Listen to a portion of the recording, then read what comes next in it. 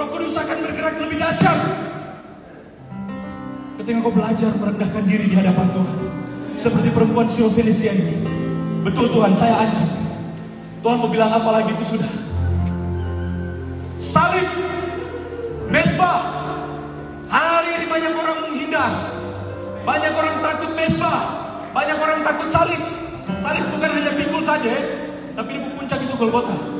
Itu pikul-pikul untuk kaget Golgota tuh putar kembali ke jalan di Yerusalem. Kepada naik Golgota. Kita tidak mau naik. Padahal sasaran terakhir dari salib adalah mati. Mati di situ bukan berhenti bernafas maksud saya. Oke, nanti Yesus datang juga kau akan naik kembali waktu sudah selesai. Tapi maksud saya mati di sini adalah bukan berhenti bernafas semata, tetapi daging tidak lagi mendominasi hidup. Daging tidak lagi bersuara kuat dalam dirimu, tetapi roh yang terus memimpin kau. Roh yang terus memimpin kau. Engkau terbiasa dengan roh kudus. Dan pelayanan yang paling efektif, itu pelayanan yang dipimpin oleh roh. Pelayanan yang dipimpin oleh roh. Haleluya. Kita lihat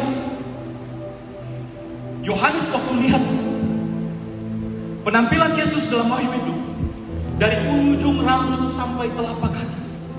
Rambutnya putih betah, matanya menyala bagaikan kakinya seperti tembaga yang membara.